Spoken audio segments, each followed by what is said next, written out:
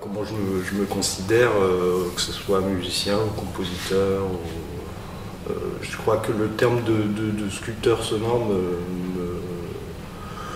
m'arrange mieux, euh, dans le sens où, je n'attaque pas, euh, on va dire, la, création, euh, enfin je n'apporte pas la création euh, euh, dans, dans le but de faire ni entendre de la musique, ni, entendre, ni faire entendre de la composition, ni faire entendre des, des formes qui seraient pensées. Ce qui m'empêche pas de penser des formes, mais euh, ce qui m'intéresse, c'est de voir comment du matériau se génère, ou comment on peut générer du matériau et le modeler euh, au fur et à mesure qu'il est en train de se générer. Et ça, c'est peut-être quelque chose qui a plus de rapport à, la sculpture en fait que a des paramètres purement musicaux.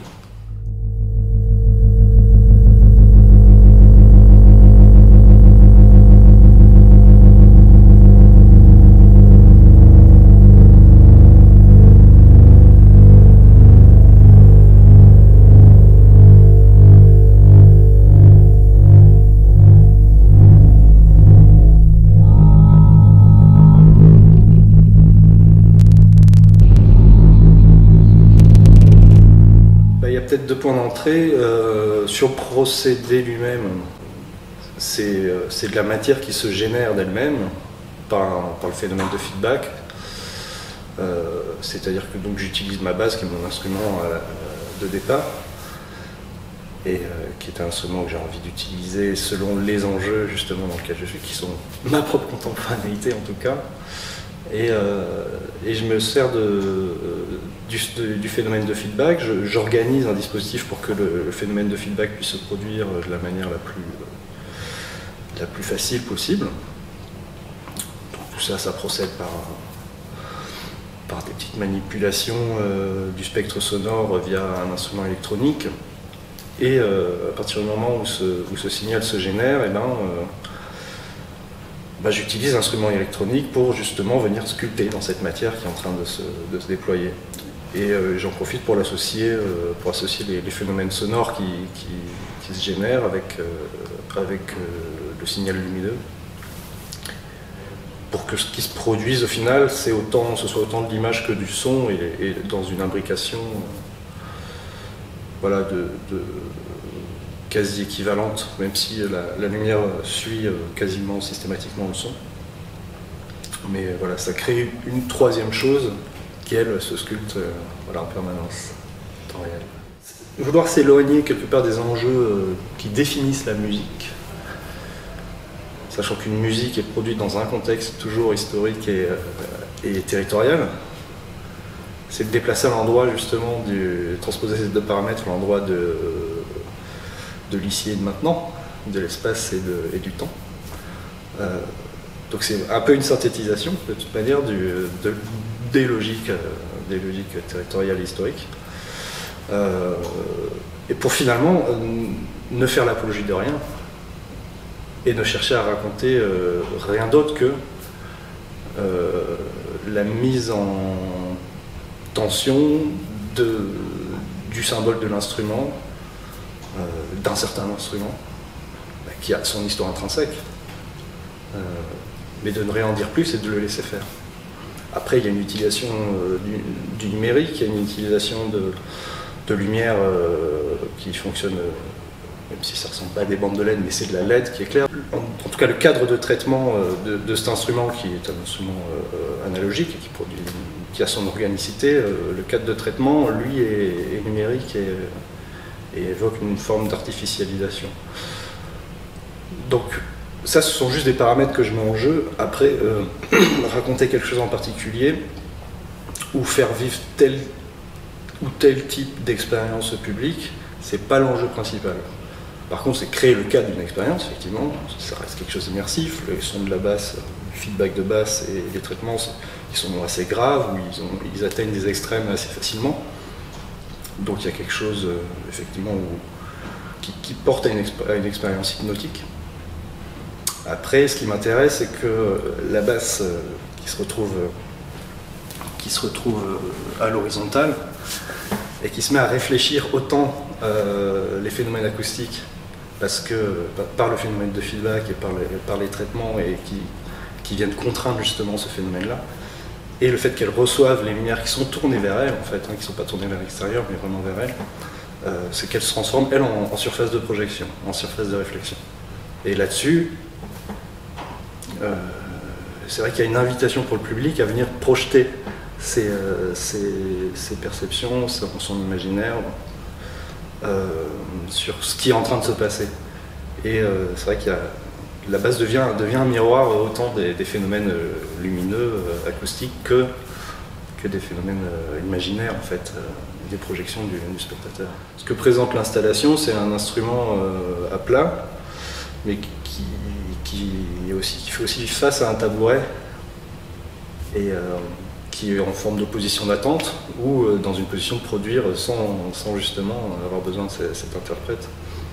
Et il y a, il y a un univers sonore, lumineux qui se crée, qui se, suffit à lui-même, et on peut se poser la question et aussi vis-à-vis ben, de, la technologie, de ce qu'elle permet de faire justement à ce moment-là, euh, à quoi pourrait bien servir le geste humain à ce moment-là, en quoi il, viendrait perturber, en quoi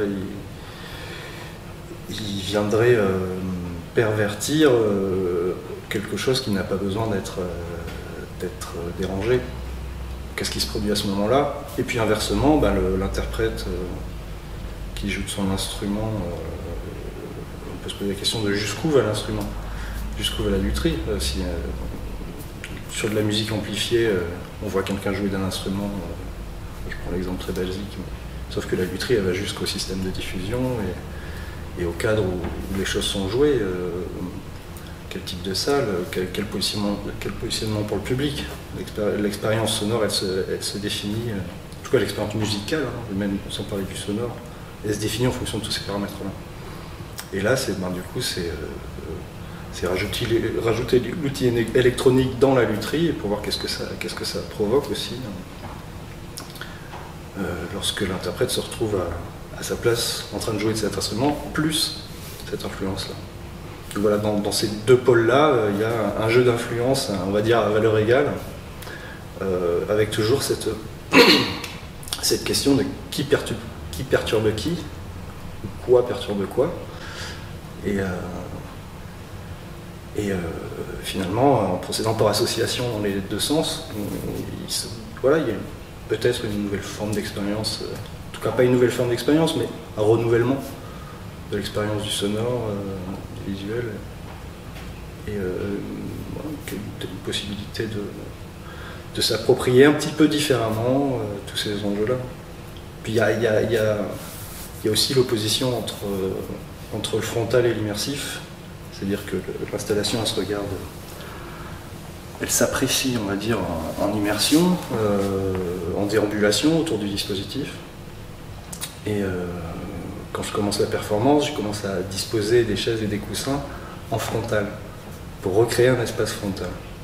Et aussi pour faire faire ce chemin-là aux spectateurs, aux spectatrices, de qui, quel est l'enjeu là? Qu'est-ce qui est en train de se jouer et qu'est-ce qu'on est en train de reconstruire comme décorum euh, Et pour quel type d'expérience? Et pour bah, célébrer quel, type de valeur en fait À quel endroit on met l'instrument, on met son interprète euh, À quel endroit on se place par rapport à ça Et qu'est-ce que, que ça implique Et là, pour le coup, on voilà, on parle d'organisation du territoire un petit peu et de comment les symboles organisent la pensée et les territoires. C'est un petit peu tout ça. Ce qui m'intéresse à travers le numérique, c'est qu'il euh, facilite en fait une forme de rapport euh, parce qu'il parce qu'il y a une fascination générale, parce qu'il viendrait concrétiser quelque part un, changement d'époque, un changement de paradigme. Et, euh, aussi parce que c'est le symbole